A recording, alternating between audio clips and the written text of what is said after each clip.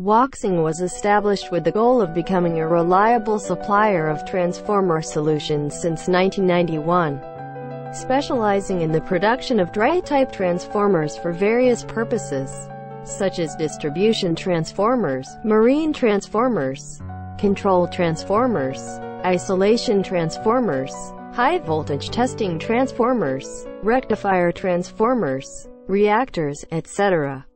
Now so glad to show the producing process of our single-phase transformer.